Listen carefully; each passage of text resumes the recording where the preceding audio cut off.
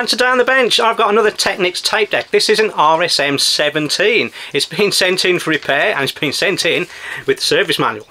Happy days. Now I'm told the fault is that there's an awful screaming noise coming out of one of the channels and the other side plays okay. I think this unit's from 1980. We'll find out when we get inside it but it's a single tape deck and yeah lights up nice. We'll just connect something to the uh, line output stick it on the scope, see what's happening. Well, I don't know if it actually needs a tape in to play. It's quite early when it's playing without a tape in. and straight away we're seeing that the uh, output's quite high on both channels. But that's not what the scope says. What's going on there? Some high frequency stuff going on. What is that? Oh, and this is quite high. Oh, I think this might be because there's no tape. This might be the carrier frequency, which might be about 100 kilohertz. This, on the other hand, is never good. I think I need to put a tape in.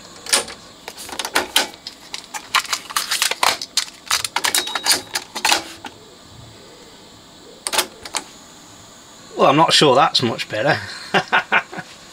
you can see some modulation going on. Yeah, so there we are. There's the audio output, just about. It's been interfered with this noise. What's going on? Try some of these other switches on here. Different Dolbys. Ah, bad all the same. Fair to say the lid's got to come off. Caution, do not remove screws. Yeah, yeah, yeah. Oh, be careful.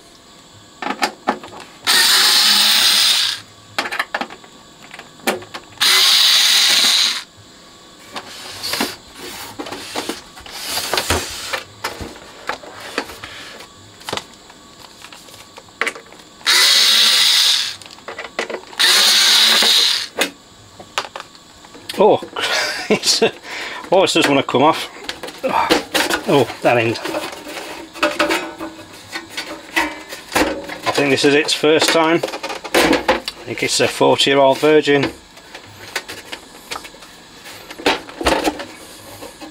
Don't look now. Imagine a bit of leverage.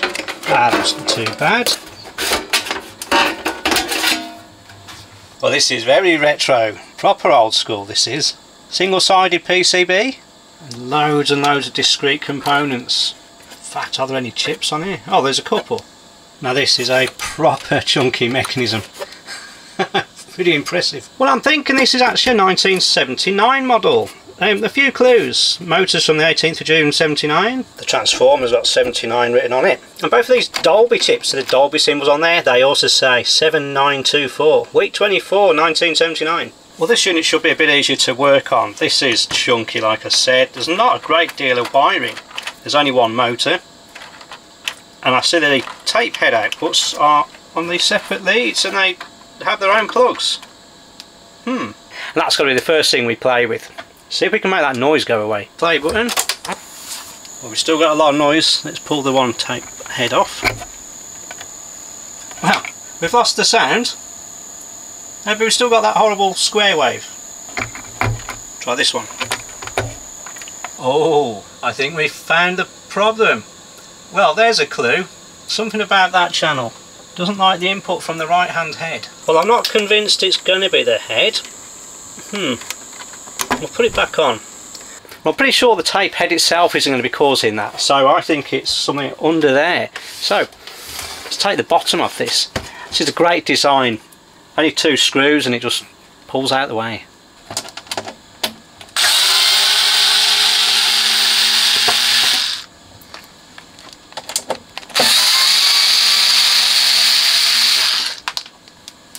Oh, there's a third screw.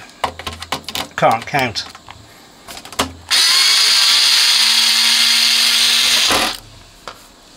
And just push it forwards and it comes out. Beautiful. Well this is all nicely laid out, labelled up, and this solder looks great, which it always did in this vintage. It's only to the 90s I started messing around with tin, trying to get rid of lead. Well, according to the good book, the service manual, it's telling us that the tape heads over here, first thing they do is go through a switch. And that switch is S1. That's S1, 4, 2, 3 and 1. Hmm. I think we should have a look at that. And this is S1 here, this big long thing here. It's actually attached to the record button. To pull in like that when you're going to record. It's only got two positions, so it should be easy to measure despite having a load of pins. So in its resting state, the contacts will be on the upper side of this, so we can just go in groups of three. So this should be good, and it is. Skip one down there, that's good. Oh, got it wrong. that one's good. That one's good.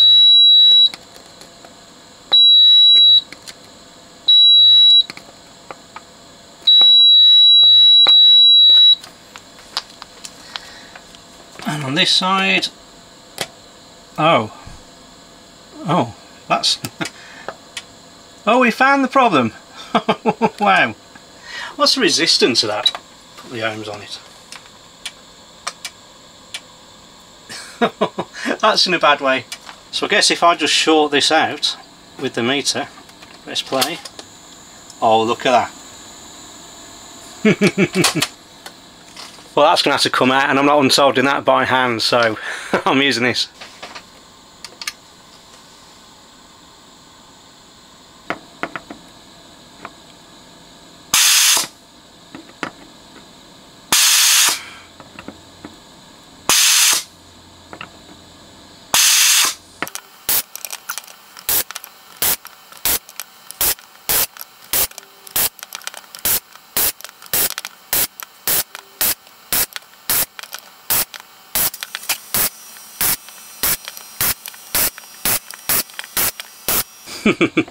Swines, they've got a bent leg here.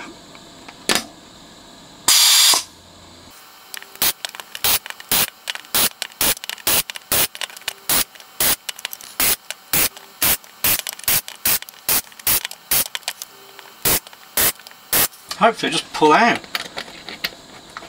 Yes. Now here's the offending switch. I don't know how many poles this is. Lots. I'm wondering whether to just chuck it in the ultrasonic cleaner or strip it and clean it manually. Well I think the ultrasonic cleaner is going to be safer but it's been such high resistance I want to see how bad it is. Let's crack it open. So all we've got to do is bend these tangs out of the way.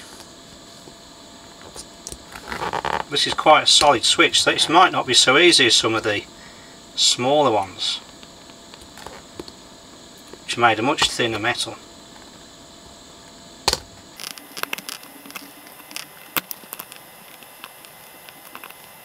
Should be good enough, I hope.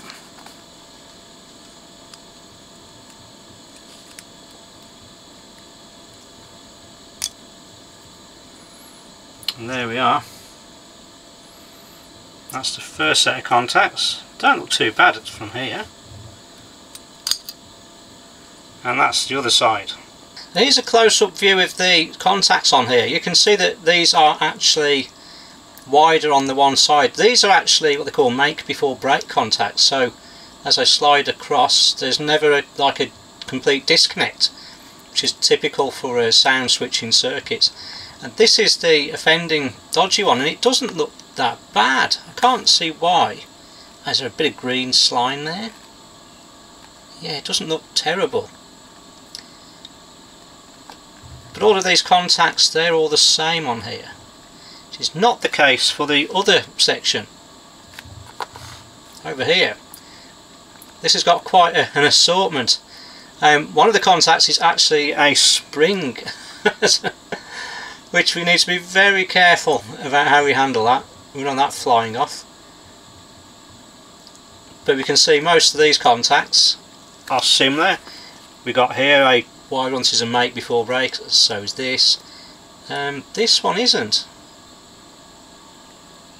and that one's different as well. Same both sides. Yeah need to make note of that. So I'm now going to carefully remove these for cleaning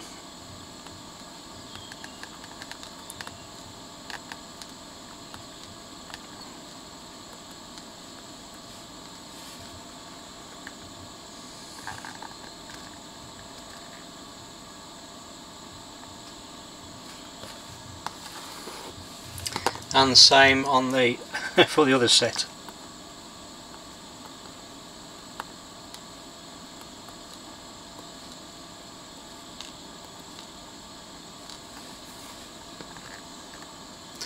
Okay, it doesn't look too bad from here.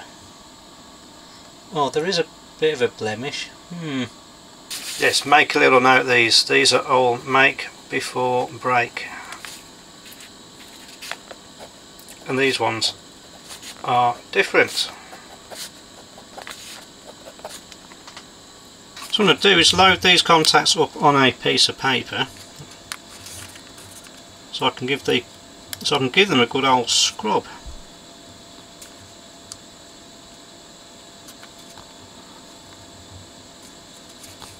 Just give a little squirt with some cleaner, get on both sides and just ride these along.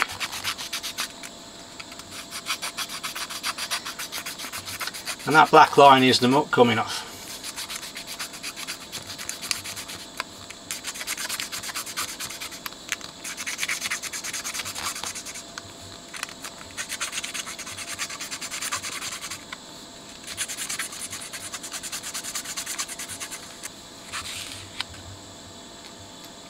Put them in the uh, clean pile.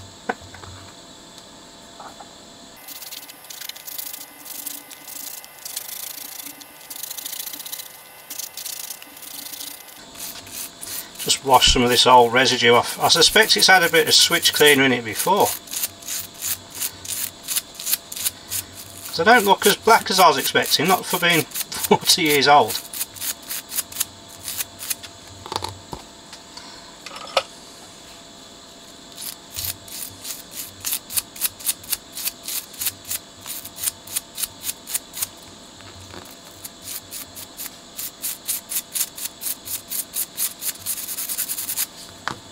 and just to spruce up these end bits. Just use a fiberglass pencil on them. That just really cleans them up nicely. Now reassembly is just quite straightforward. It's just the reverse. Just need to carefully put these back on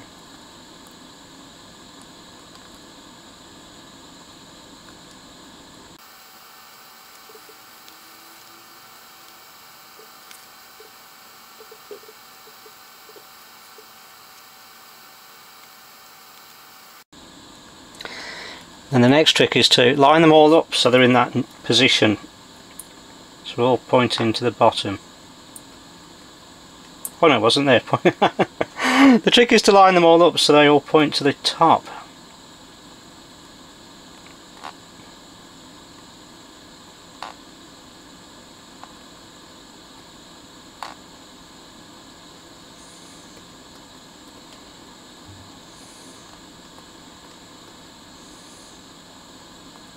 These need to be fairly well aligned or I should have trouble putting it back together. This end of the switch had a bit of variety about it. So we start with the standard make before break contacts.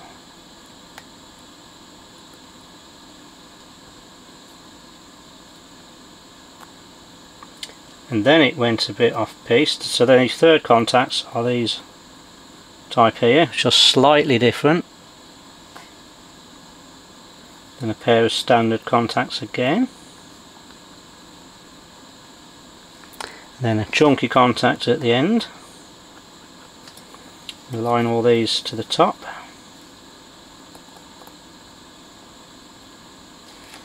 And that leaves that little spring contact to put in. It's going to need some persuasion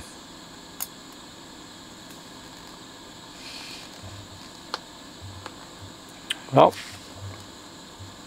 that's it. you sit down straight.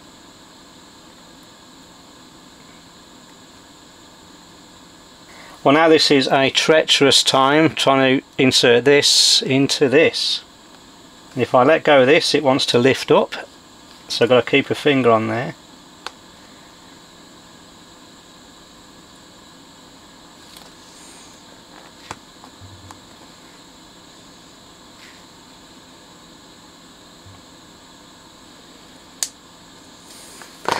There we go.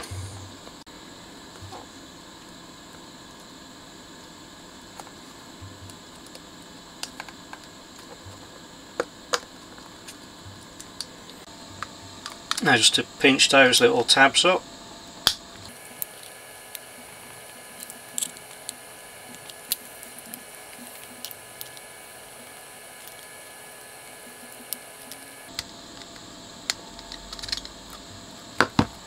Quality check. Check that one there, that should work just as I nudge it. Yes, and all the way in it stops. So that end pin's only there when it's in between positions. Clever that is. So all the others should be working on the outside. Yeah.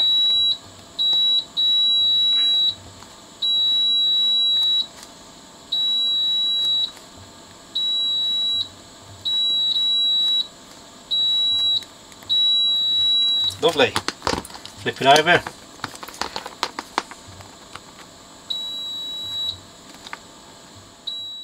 Going to use one of these little clamps. There we are. So now we're testing the other part. So that one should be off, that is. One. Now that's perfect. I'm happy with that. Let's get it back in.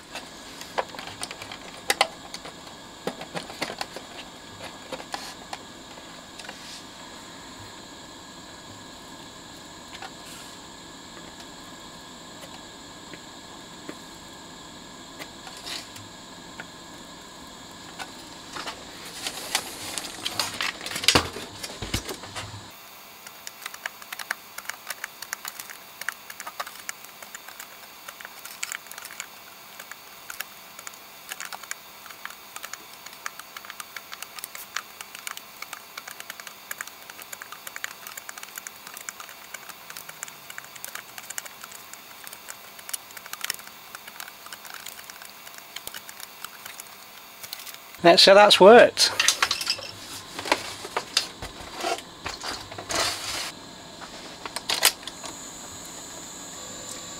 Well that looks a lot better. now the test tape is a continuous tone, it's stereo, it's 3 kilohertz, so it's great for doing analysis on. Um, and you also don't get copyright infringements.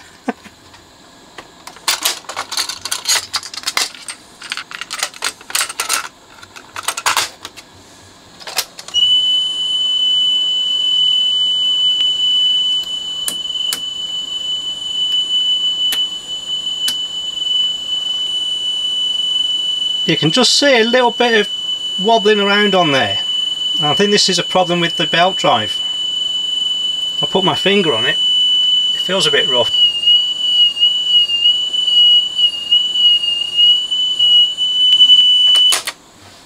This really is a borderline case whether you actually change it or not. Depends on the customer if they're bothered but nah, we'll do it does mean the front panel's got to come off as well.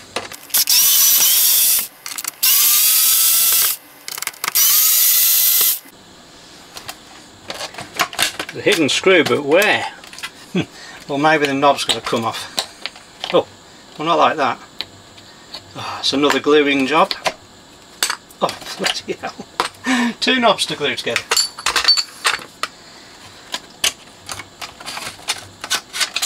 There we are and you just know I'm going to forget to put these back on.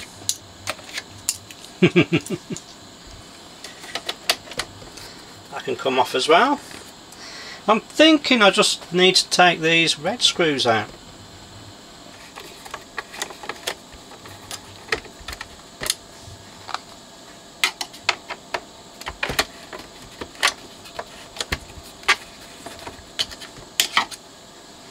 There's more sneaky bits. I think these little screws have to come out.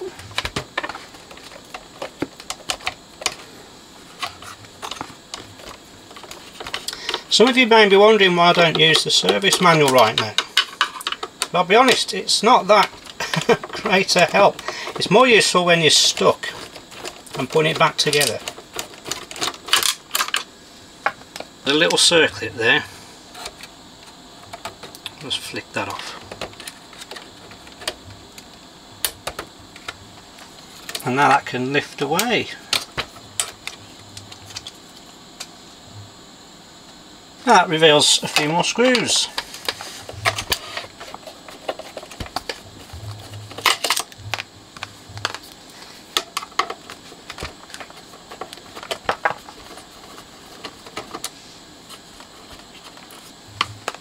Oh, just realised this isn't going to come out as easily as I thought. There's a lot of cables that are soldered to the board in many places. And I don't think I need to take it out. Um, I think I can get it out from behind. Yeah, I just need to unscrew this plate off here and that'll allow me to take the belt off. I can get this screwdriver, oh it's tight. Oh, this could go wrong.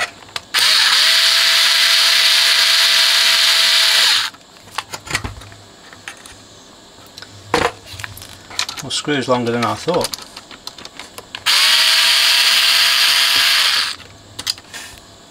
Yes. Push that back a bit, give me a bit more room.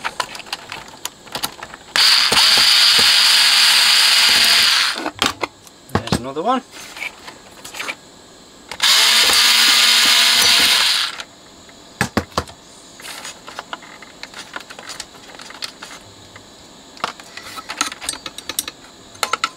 And we're off.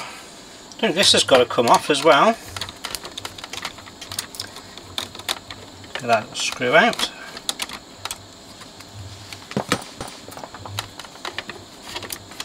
I think he just sort of flicks off. There we go.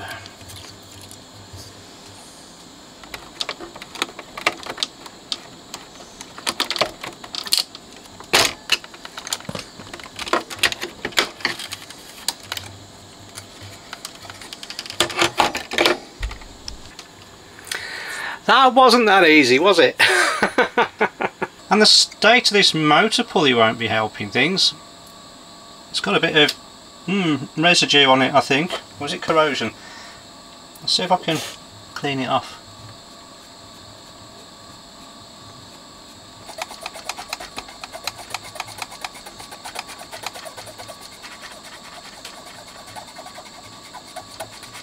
I could be here all day doing this. I might power the motor up.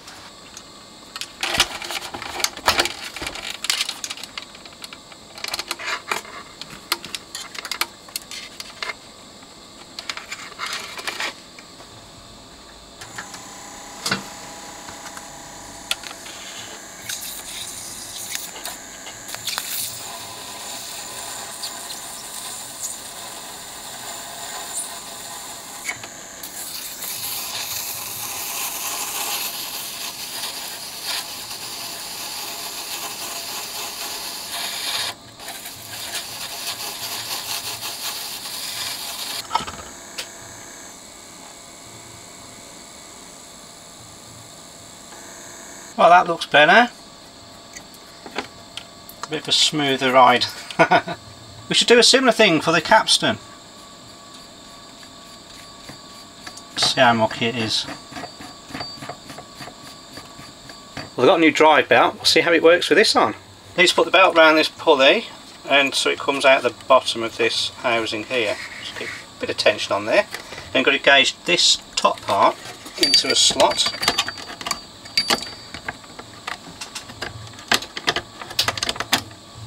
Okay, and just give it a push down, it clicks into place.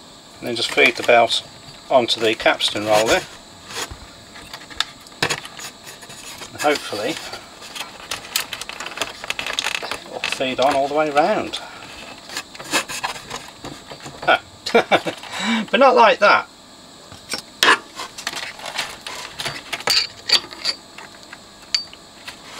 Like that. I'm going to clean this off here as well. And that's wasn't much grease in it anyway. Let's give it a little dab of fresh grease on there.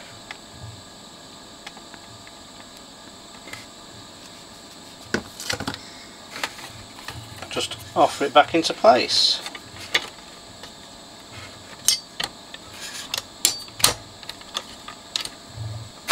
long screw in the top.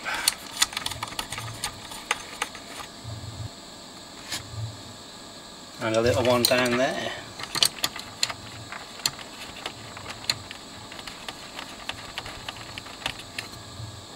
An awkward to reach right in the corner.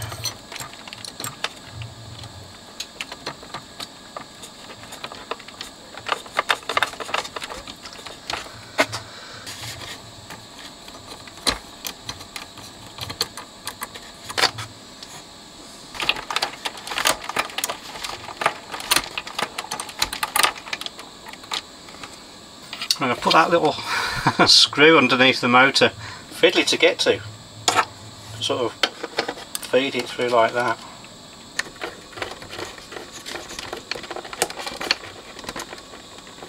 Let's feed the belt back onto here.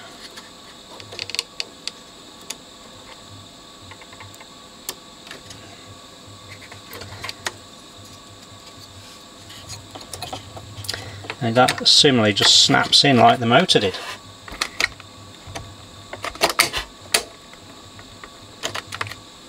Let's pop the little screw in.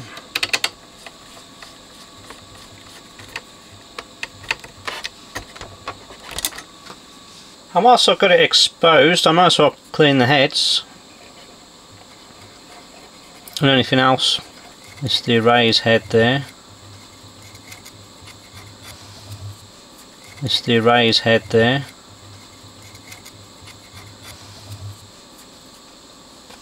And I think this uh, capstan looks pretty spanking clean. And this pinch roller, just give that a bit of a, a wipe. I'm going to demagnetise the heads as well. I've got this pretty vintage old demagnetiser that uh, my dad gave me. I think it was his. This old relic's from the 60s I would think. Um, some simple instructions there. Hmm. But they're pretty easy to use. It's just a coil of wire in here and an iron core which uh, this extends out of.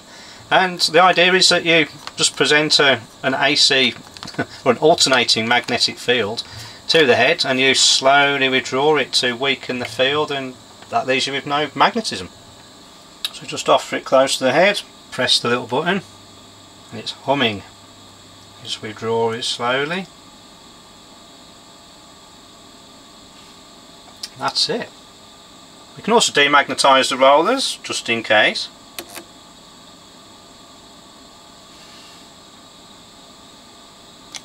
But that'll do.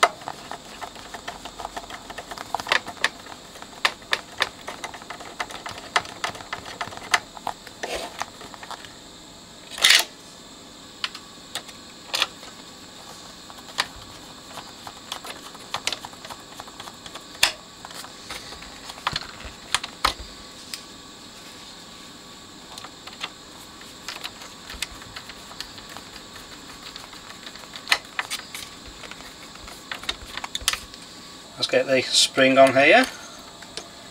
Sort of hooks in there and under that.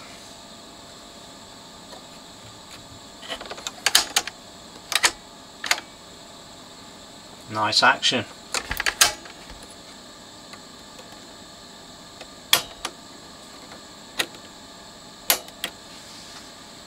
Let's try that test tape again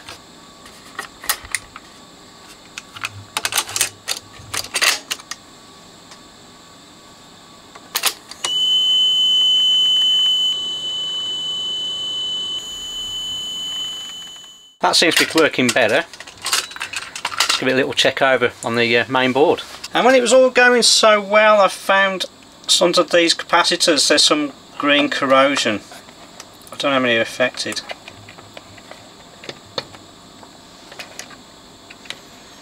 Hmm.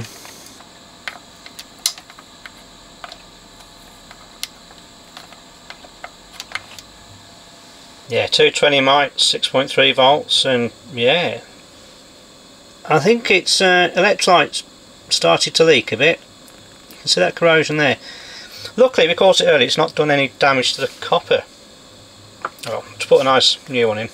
High voltage rating, but yeah, similar size. At least it fits.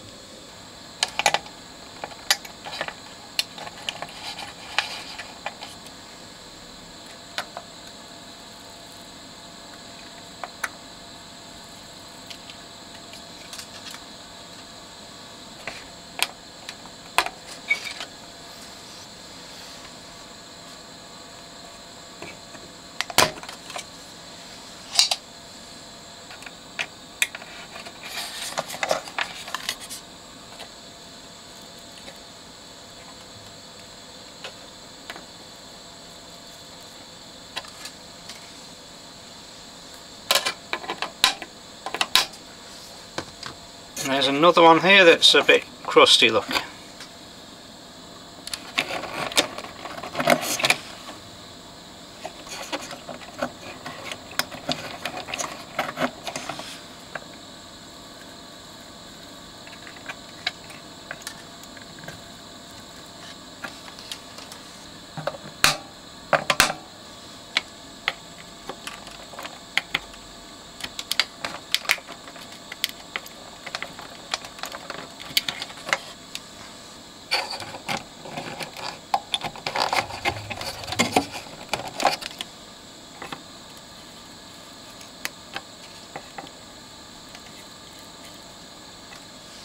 Well, I can see me changing quite a lot of these caps in the end.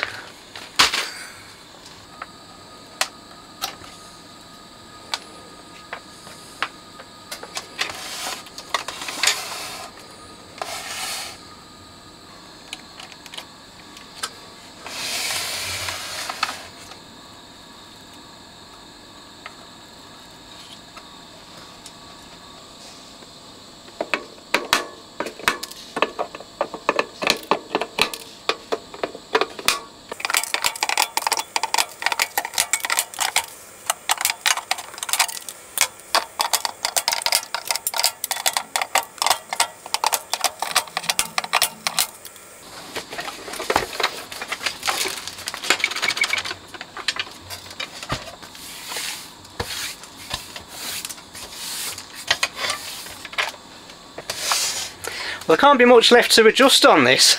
so, let's put the test tape in.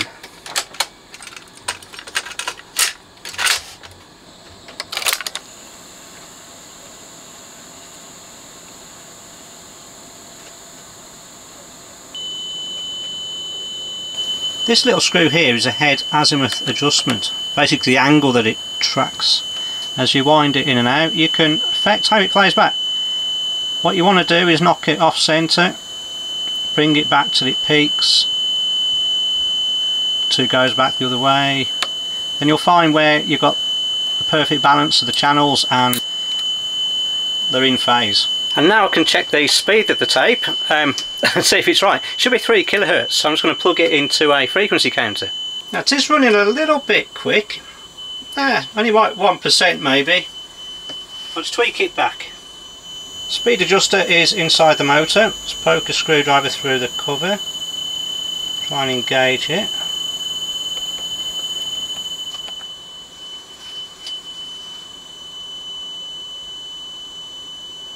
Yes, about as good as it's going to get. Well I think that's it. I'm going to start putting the front panel on and get this back together. Let's not forget to put this on. I think it just clips in there. There we are. And let's not forget to put these switch covers on. That'd be very typical of me to forget that part.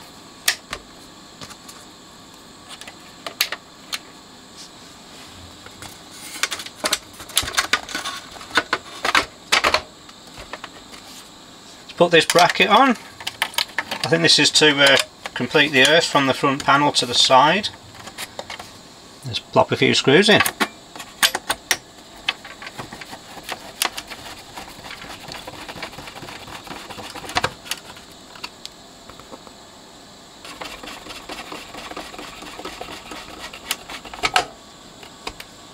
get this lid on or lid, whatever you call the bottom what do you call a lid that's on the bottom? hmm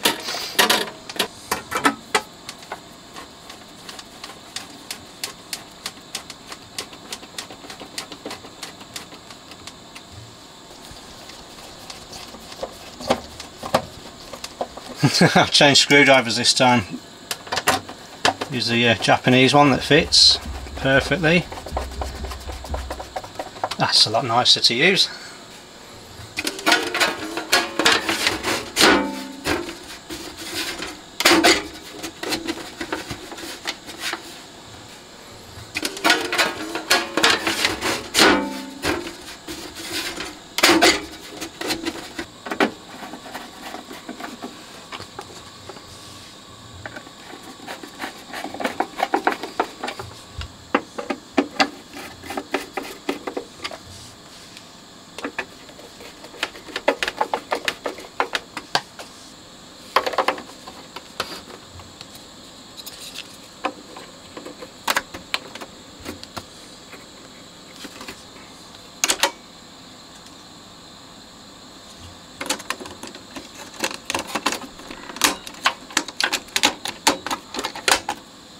Final functional test.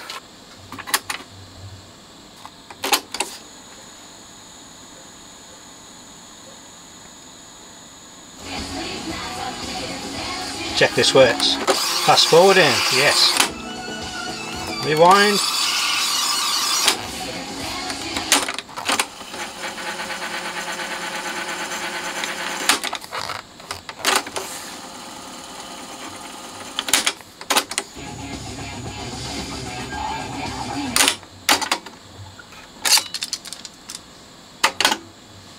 That's working beautifully. I'm really happy. I hope Sid's happy with it.